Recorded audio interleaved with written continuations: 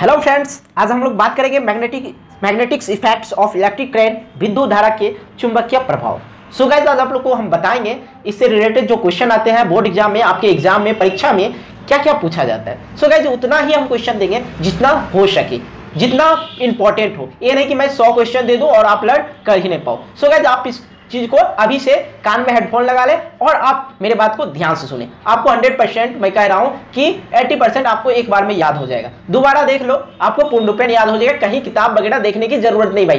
तो फिर चलो स्टार्ट कर लेते हैं और आप कान में हेडफोन लगा लो ताकि आपको पूर्णपेन समझ में आए और अपने माइंड को कॉन्स्टेंट करके सुनो कि क्या क्या हम आपको बताएँगे पहला नंबर जो हमारा क्वेश्चन है यहाँ पे, विद्युत और चुंबकत्व में घना संबंध है, इसका पता लगाया लगाया। इसका जो पता लगाया था, वो था ऑस्ट्रेड ने। वो था ऑस्ट्रेड ने। इसका सही आंसर हो जाएगा सी नंबर अब हम लोग देखेंगे सेकेंड नंबर क्वेश्चन परिनालिका में धारा प्रवाहित होती है। सो so परिनालिका में जो धारा प्रवाहित होती है, यह प्रदर्शित करता है। यह क्या प्रदर्शित करता है? तो सेकेंड नंबर का जब मेरा आंसर हो जाएगा यहाँ पे चुंबकीय गुण। यह चुंबकीय गुण को प्रदर्शित करता है। सो so जब हम लोग देखेंगे यहाँ पे थर्ड नंबर क्वेश्चन विद्युत धारा उत्पन्न करता है। भाई, विद्युत धारा उत्पन्न करती है। याद करो कि विद्युत धारा उत्पन्न क्या करती है? विद्युत धारा जो है, चुंबकीय क्षेत्र उत्पन्न करती है। विद्युत धारा क्या उत्पन्न करती है? चुंबकीय क्षेत्र उत्पन्न करती है। इसका सही आंसर हो जाएगा बी नंबर। अब हम लोग बात करेंगे यहाँ पे फोर नंबर क्वेश्चन। चुंबक द्वारा धारावाही चालक पर लगाए गए बल की दिशा मिलती है। चुंबक द्वारा धारावाही चालक पर लगाए गए बल दिशा मिलती है। ये फ्लेमिंग के बम हस्त नियम से, ये जो है फ्लेमिंग के बम हस्त नियम से। भाई, आपको मैं एक बात और बोल दूँ कि फ्लेमिंग का बम हस्त नियम को याद कर लेना, क्योंकि ये इंपॉर्टेंट है, ये कटने वाला नहीं है, ये आपके एग्ज़ाम में आने वाला ही है। हंड्रेड गारंटी मैं आपको दे रहा हूँ कि आएगा। सो so अब हम लोग देखेंगे यहाँ पे फाइव नंबर क्वेश्चन विद्युत मोटर की क्रिया आधारित होती है। सो गाइज़ विद्युत मोटर की जो क्रिया आधारित होती है अर्मेचर के घूर्णन पर आधारित होती है। इसका सही आंसर हो जाएगा सी नंबर अब हम लोग बात करेंगे यहाँ पे सिक्स नंबर विद्युत चुंबक होता है। तो विद्युत चुंबक जो होता है, वो जब तक उसमें विद्युत रहेगी करंट रहेगी, तभी तक वो चुंबक रहेगा। तो इसलिए यहाँ पे जो हमें चुंबक मिल रहा है कि अस्थायी चुंबक अस्थायी चुंबक, या दोनों, इनमें से कोई नहीं। ये जो है, अस्थायी चुंबक है। क्योंकि जब इसमें इलेक्ट्रिक रहेगी तभी तक इसमें चुंबक का गुण रहेगा। नहीं तो ये खत्म हो जाएगा। सो so, इसका सही आंसर होगा बी नंबर अब हम लोग बात करेंगे यहाँ पे seven number question dynamo dynamo का जो सिद्धांत आधारित है डैनमो का सिद्धांत आधारित है। डैनमो का जो है सिद्धांत आधारित है गाइज़ तो फ्लेमिंग के दाएँ हाथ के नियम पे फ्लेमिंग के दाएँ हाथ के नियम पे डैनमो का सिद्धांत आधारित है। सो so, हम लोग देखेंगे अभी eight number question eight number question में क्या दिया गया है। मुझे पता है कि आप लोग को पढ़ाई लिखाई में अभी मन नहीं लग रहा होगा क्योंकि एग्ज़ाम नियर है। ऐसा ही होता है दोस्त जब एग्ज़ाम नियर हो तो पढ़ाई लिखाई में मन नहीं लगता। कभी ये सब्जेक्ट उल्टा लूँ कभी वो सब्जेक्ट उल्टा लूँ इसी तरह चलता रहा। लेकिन तब फिर भी आप पैसेंस रख के आप पढ़ाई पे ही ध्यान दीजिए इधर उधर ध्यान नहीं दीजिए। सो so, हम लोग देखेंगे अभी eight number question eight number question में क्या दिया गया है। जब एक कुंडली के पास चुंबक का उत्तरी ध्रुव लाते हैं तो क्या होता है? जब एक कुंडली के पास चुंबक का उत्तरी ध्रुव लाते हैं तो क्या होता है? तो एट नंबर का आपका सही आंसर हो गया बी नंबर। कुंडली की प्रत्यावर्ती विकरण बल क्यों प्रेरित करता है? इसका सही आंसर हो गया बी नंबर। अब हम लोग देखेंगे यहाँ पे नाइन नंबर क्वेश्चन किसी बंद कुंडली और चालक सॉरी चुंबक के बीच सापेक्षिक गति के कारण कुंडली में विद्युत बल उत्पन्न होने की घटना को कहते हैं। तो विद्युत बल, कुंडली में जो विद्युत बल उत्पन्न होती है, उस घटना को जो हम लोग कहते हैं विद्युत चुंबकीय प्रेरण। उसको क्या कहते हैं हम? विद्युत चुंबकीय प्रेरण। ए नंबर ऑप्शन हो जाएगा आप लोग का। अब देखेंगे हम लोग यहाँ पे ten number question ten number question में चुंबकीय क्षेत्र के प्रभाव में विद्युत धारा, चुंबकीय क्षेत्र के प्रभाव में विद्युत धारा चालक पर बल उत्पन्न करती है। क्या करती है? चालक पर बल उत्पन्न करती है विद्युत धारा। अब देखेंगे यहाँ पे अलेवन नंबर क्वेश्चन विद्युत धारा के कारण उत्पन्न चुंबकीय क्षेत्र की दिशा विद्युत धारा के कारण उत्पन्न चुंबकीय क्षेत्र की दिशा मैक्सवेल के दक्षिण हस्त नियम से ज्ञात की जाती है। मैक्सवेल के दक्षिण हस्त के नियम से ज्ञात किया जाता है। सो गाइज़ हम आप लोग को इंपॉर्टेंट क्वेश्चन बता रहे हैं जो पूछा जा सके। तो पूर्णपेन ध्यान देके आप इस चीज़ को सुने।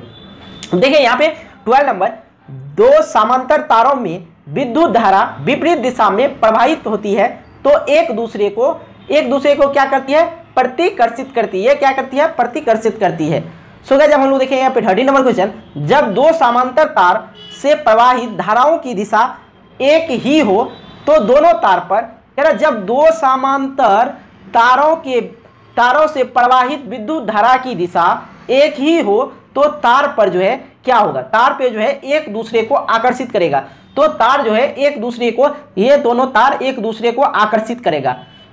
तो अब हम लोग देखें यहाँ पे fourteen number question fourteen number question में क्या दिया गया है? फोर्टीन नंबर में है, दी गई वोल्टा के स्रोत से जुड़े किसी चालक का प्रति सेकेंड उत्पन्न करती है। तो फोर्टीन नंबर का आपका सही आंसर हो जाएगा, धारा के वर्ग के समानुपाती होते हैं। धारा के वर्ग के समानुपाती होती है। बी नंबर हो जाएगा। सो गाइज़ इस चीज़ से भी आप समझ सकते हैं। यहाँ पे हम कुछ नोट्स दिए हैं। सो गाइज़ हम लोग देखें यहाँ पे फिफ्टीन नंबर क्वेश्चन किसी सीधे चालक में धारा की दिशा और उससे संबद्ध चुंबकीय क्षेत्र की दिशा किस नियम से ज्ञात की जा सकती है? चुंबकीय क्षेत्र क्षेत्र की दिशा किस नियम से ज्ञात की जाती है? तो मैक्सवेल के दक्षिण हस्त नियम से, मैक्सवेल के दक्षिण हस्त नियम से चुंबक के चुंबकीय क्षेत्र की दिशा को ज्ञात किया जा सकता है। सो गाइस हम लोग देखें यहाँ पे सिक्सटी नंबर क्वेश्चन किसी विद्युत धारावाही में सीधी लंबी पारिनिलिका के भीतर चुंबक क्षेत्र, किसी विद्युत धारावाही में सीधी लंबी पारिनिलिका के चुंबकीय क्षेत्र जो होता है, सभी बिंदुओं पर समान होती है। सभी बिंदु पर क्या होती है? समान होती है। अब हम लोग देखेंगे यहाँ पे seventeen number question seventeen number question में क्या दिया? यहाँ पे देखा जाए सेवनटीन नंबर क्वेश्चन निम्नलिखित में कौन किसी लंबे विद्युत धारावाही तार के निकट चुंबकीय क्षेत्र का सही वर्णन करता है? निम्नलिखित में से कौन लंबे विद्युत धारावाही तार के निकट चुंबकीय क्षेत्र का सही वर्णन करता है? तो 17 नंबर का जो आपका सही आंसर हो जाएगा यहाँ पे डी नंबर, चुंबकीय क्षेत्र के सकेंद्रीय क्षेत्र रेखाओं को केंद्र तार होती है। ये डी नंबर हो जाएगा। अब हम लोग देखें यहाँ पे नंबर क्वेश्चन। फ्लेमिंग के बम हस्त नियम बम हस्त नियम में अंगूठा किसकी दिशा को प्रदर्शित करती है? अंगूठा जो है किसकी दिशा को प्रदर्शित करती है? ये जो अंगूठा है, किसकी दिशा को प्रदर्शित करती है? एट्टीन नंबर का जो आपका सही आंसर हो जाएगा, बल की दिशा को यह प्रदर्शित करता है। सो so गाइज़ इसका सही आंसर हो जाएगा एट्टीन का सी नंबर एट्टीन का सी नंबर हो जाएगा। अब हम लोग बात करेंगे यहाँ पे nineteen number question nineteen number question देखा जाए। किसी प्रोटोन प्रोटोन का निम्नलिखित में से कौन सा गुण किसी चुंबक के क्षेत्र में मुक्त गति करते समय परावर्तित हो जाती है? हो जाता है। सो गाइज़ 90 नंबर का आपका सही आंसर हो गया सी नंबर बेग अब हम लोग बात करेंगे, थोड़ा क्वेश्चन लॉन्ग है टाइम लग रहा है। तो सर पूर्णपेन आप वीडियो देखें पश्चिम की ओर प्रेक्षित कोई धनावेशित कण, जैसे कि अल्फ़ा बीटा हो गया अल्फ़ा कण हो गया सॉरी अल्फ़ा कण हो गया, किसी चुंबकीय क्षेत्र द्वारा उत्तर की ओर विक्षेपित हो जाती है तो चुंबक क्षेत्र की दिशा क्या होगी? ट्वेंटी नंबर का जो आपका सही आंसर हो गया डी ऊपरी मुखी होगी। सो गाइज़ हम लोग देखें यहाँ पे twenty one number question twenty one number में दिया है, विद्युत चुंबकीय प्रेरण की परिघटना। विद्युत चुंबकीय प्रेरण की परिघटना परिघटना। तो 21 का जो आपका सही आंसर हो जाएगा। कुंडली तथा चुंबक के बीच अपेक्षिक गति के कारण कुंडली में प्रेरित विद्युत धारा उत्पन्न करना। इसका सही आंसर हो जाएगा सी नंबर विद्युत चुंबकीय प्रेरण की परिघटना जो है कुंडली तथा चुंबक के बीच अपेक्षिक गति के कारण कुंडली में प्रेरित विद्युत धारा उत्पन्न करना। सो गाइज़ हम लोग देखें यहाँ पे 22 नंबर क्वेश्चन 22 नंबर क्वेश्चन में विद्युत धारा उत्पन्न करने की युक्ति को कहते हैं। विद्युत धारा उत्पन्न करने की युक्ति को कहते हैं तो 22 का जो आपका सही आंसर हो जाएगा ए नंबर जनित्र कहते हैं। विद्युत धारा जो उत्पन्न करती है, वो जनित्र होती है। अब हम लोग देखें जनित्र मीन्स होता है जनित्र वास्तव में विद्युत जनित, वास्तव में जो है विद्युत जनित क्या है? विद्युत जनित क्या कार्य करता है? तो 23 का जो आपका सही आंसर हो जाएगा नीड नंबर ऊर्जा के परिवर्तक की तरह कार्य करता है।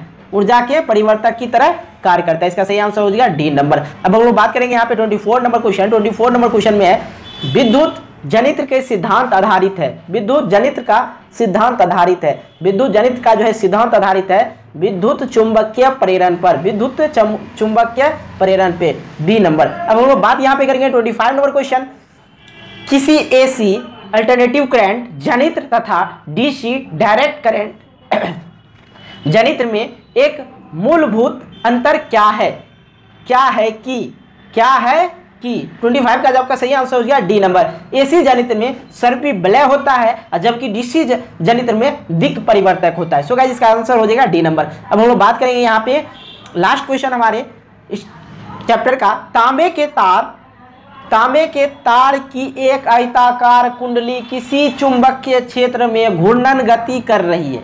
इस कुंडली में प्रेरित चुंबक इस कुंडली में प्रेरित विद्युत धारा की दिशा में कितने परिभ्रमण के पश्चात परिवर्तन होता है? सो गाइज़ बहुत ही लंबा क्वेश्चन है। तांबे के तार के एक आयताकार कुंडली किसी चुंबक क्षेत्र में घूर्णन गति कर रही है। इस कुंडली में प्रेरित विद्युत धारा की दिशा में कितने परिभ्रमण के पश्चात परिवर्तन होती है। सो गाइज़ 26 का आज आपका सही आंसर हो जाएगा सी आधे परिवर्तन करती है। इसमें जो है, आधे परिवर्तन करती है। सो गाइज़ यदि वीडियो अच्छी लगी तो वीडियो को लाइक करना, साथ ही अपने दोस्तों के साथ शेयर करने के लिए मत भूलना।